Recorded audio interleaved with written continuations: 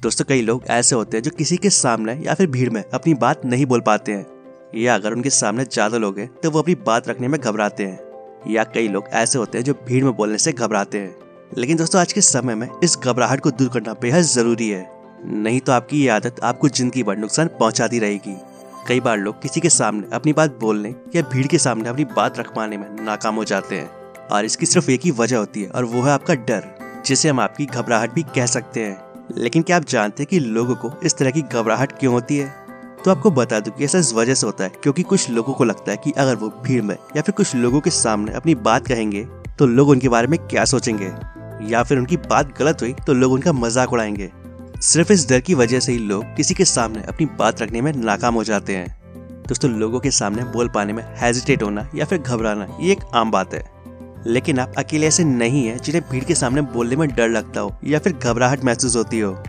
दोस्तों according to science ऐसे समय में हमारी बॉडी पर एक अलग तरह का प्रेशर होता है, जो आपकी आवाज़ को दबाने का काम करता है। आपकी बॉडी में एक तरह का तनाव फैल जाता है, और जिसकी वजह से आपकी वोकल कॉर्ड दबने लगती है, जिससे आपकी आवाज़ धीमी हो जाती है, और आप बोलना बंद कर देते हैं। लेकिन कुछ लोग तो ऐसे होते हैं जो अपनी बात को अपने ऑफ़िस दोस्त और रिश्तेदारों के सामने भी नहीं रख पाते हैं। उन लोगों में एक तरह का फोबिया होता है। अगर आप लोगों के सामने अपनी बात रखना चाहते हैं तो इसके लिए आपका बोलना ज़रूरी है। और साथ ही आपके डर का बाहर निकलना भी ज़रूरी है। दोस्तों, विशेषज्ञों ने इसके लिए एक एक्सरसाइज के बारे में बताया, जो आपकी घबराहट को कम करने का काम करेगी। और ये कोई मुश्किल एक्सरसाइज नहीं है। ये सिर्फ़ एक लंबी सांस लेने की एक्सरसाइज है। जब आप किसी के सामने बोलने की तैयारी कर रहे हो तो बोलने से पहले आपको एक लंबी सांस ज़रूर लेनी है। और ये आपकी घबराहट को दूर करने का काम करेगी।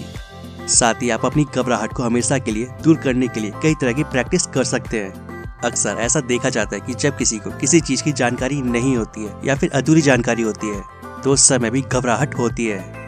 तो ऐसे में आपको कोशिश ये करना है कि जिस सब्जेक्ट या जिस टॉपिक पर आप बोलना चाह रहे हैं, आपको उसकी सारी जानकारी हो। और अगर आपको उस सब्जेक्ट की या उस टॉपिक की पूरी जानकारी है तो उसके बोलने की प्रैक्टिस को दो तीन बार ज़रूर करें। ऐसा करने से आपका कॉन्फिडेंस बढ़ेगा और आप आगे भी उस सब्जेक्ट या टॉपिक पर अच्छे से बोल पाएँगे।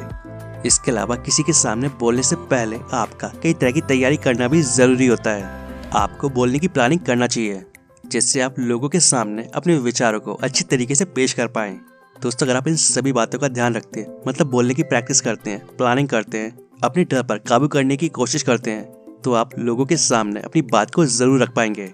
तो उम्मीद करता हूँ आपको वीडियो पसंद आएगा वीडियो अच्छा लगे तो वीडियो को लाइक एंड शेयर ज़रूर करें। इस तरह की वीडियोस आगे भी देखने के लिए चैनल को सब्सक्राइब कर लें। और अगर आपके कोई सवाल या सुझाव है तो कमेंट बॉक्स में कमेंट करके बताएँ। And thanks for watching